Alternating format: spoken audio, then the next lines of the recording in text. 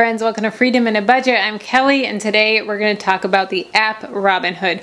Now this is a super basic Robinhood tutorial on how to use the app very, very baseline. This is more geared towards, you know, first time using the app women that are looking at to start investing very very basic but it is such a great app and i'm so excited to start this journey with you. If you're new to my channel freedom in a budget welcome. My channel is all about living a full life on a budget I make videos every single week on how to live within your means, making sure that you're living a full life within the contents of a budget, but how the budget gives you freedom. I have paid off $23,000 worth of debt, cash flowed my $30,000 wedding, paid for a Jeep in cash, and now we're saving for our first home and it has been so much fun just to be able to do that because of a budget. When I was before a budget, I was living paycheck to paycheck, overdrafting every single month, and it was just it was so stressful and so bad. So now that I have a budget, I am sharing that with you guys and sharing my life with you. So I hope that you subscribe, join the family. Welcome to Freedom in a Budget. So today I'm going to be investing 100, 150, 200 dollars in Robinhood and it's going to be so much fun. So if you are new to investing, this is going to be a great app for you. It is very basic. Now we also invest in our Roth IRAs our 401ks at our job with employer match and everything. So this is in addition to that. Now, if you're not doing anything like that, I would recommend doing your own research and figuring out what's going to be best for you. Everything that I'm investing in on the Robinhood app, that is not necessarily what I recommend for you. I recommend that you do your own research. Please, please, please do your own research. Figure out what's going to be best for you, your situation, your own research on the stocks and everything like that. If you do want to join Robinhood, I will have a link down below in the description box for you on a free stock. If you sign up, you get a free stock, I get a free stock as well, which is really cool.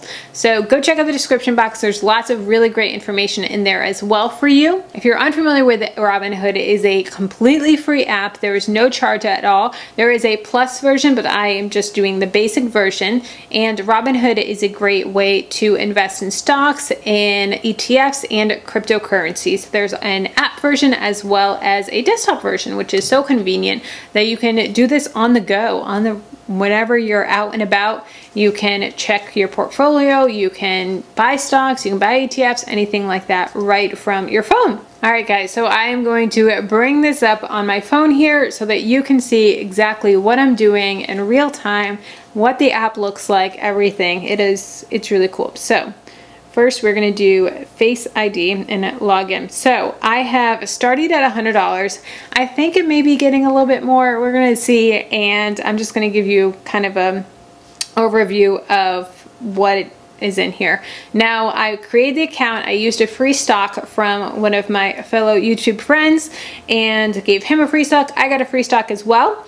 And so I loaded $100 and that is all I have done. It has just been sitting in here for a couple days now and let's get into it. So as you can see at the top we have $100 in there. Then you can see some stocks, some cryptocurrencies, and a watch list. So this watch list, it allows you to add companies or add ETFs to it that you want to watch and you want to see what's, you know, what's going on with them. Are they going up? Are they going down? What's going on with them? And if you want to click on one, it gives you stats on it. It gives you what's going on. It gives you um, analysis rating. It gives you its earnings. Um, people have also bought a little bit more about the company, what's going on with the company. It gives you, one thing that's really cool, it gives you today, a week out, a month, three months, a year, five years, um, and just so you can see what's going on with the stock, which is so cool. So that is different things on the wish list or the watch list. You can see how Tesla is doing. The one week, month, three months, a year, and five year, which is so cool. Also, if you want, you can search. So let's search, I don't know, let's search Starbucks. Starbucks, you can see it there. And they each have their own like sub little name, kind of like airport codes. So Starbucks is SBUX, and right now a stock is 76.65. And you can see how it's doing. It's going up and up. It is doing great. The stats, the news, 39% um, analysis rating, its earnings. People also bought Disney, Apple, Microsoft, Bank of America, Walmart, Netflix, Intel, Facebook, Twitter, Procter & Gamble, Target, AT&T, GE, McDonald's, Verizon. You can see it goes on and on. About Starbucks, it gives lots of great. And if you wanted to buy, you could buy right from there, which is so cool. And then if we go into my profile, you can see total I have $103.16. If I want to upgrade it to gold, I can do that right from the app and it has all of the information. So let's see, we are going to buy a couple. So first one we are going to buy is AT&T. Now again, this is not something that I am suggesting you guys buy, but just what I'm buying. So we're going to do AT&T. Right now it is at 32.20, so we're going to buy number of shares, one.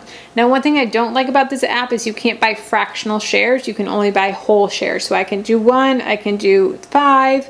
Five would cost me $161. Um, but right now I'm going to just buy one, hit review, and then swipe up to submit. Order received. Yay! All right, next up, we're rate the ride no, not right now. All right, next we are going to do JetBlue. So let is let's find him here. JetBlue, 1704, and he is down right now. We're gonna buy one share, review, swipe up, and order received. Next, we're going to buy Starbucks because Jamie loves him some Starbucks. Let's see here. Where is Starbucks? SBUX. Right now it is 76.65. We're going to buy it. And if you see at the top, it says 48.30 available. So what it's going to do is it's going to make me add more money to my account. So it says you don't have enough buying power to buy shares of Starbucks. Would you like to purchase one share? Do you want to make a deposit of 30 to 18? So yes, make deposit. Review.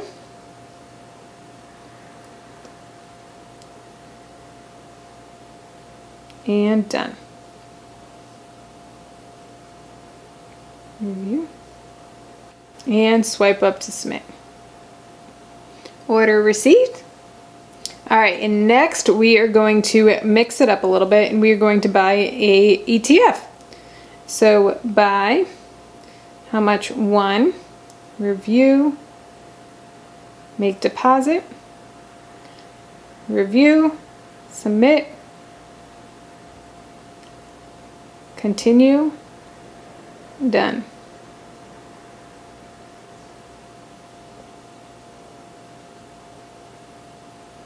Order receipt.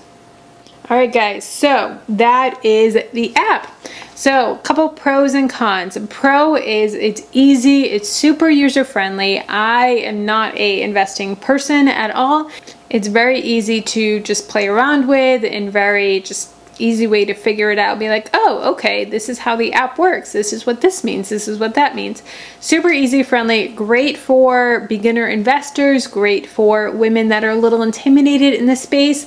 I personally was, and it was a super easy app to just get in there and figure it out. Another pro is there are no fees, which is absolutely incredible. It is a completely free app which I did say that you can upgrade to the plus version or the gold membership, but just, just do basic investing, no fees whatsoever. Now, some of the cons, you cannot do fractional shares, which it is kind of a bummer. You know, there are some shares that I would like to purchase, but they are pretty expensive and I just couldn't afford them right now. We are just kind of doing basic investing into this. So couldn't do those bigger shares, but you know, it's okay. Another con is you cannot auto invest which is something that, you know, it has its pros and its cons. I wish that it would auto invest. I feel like investing in different things like this is kind of like saving. And when you have money automatically drawn out of your savings account, it makes the habit a lot easier so that you can just go ahead and not think about it, not do it.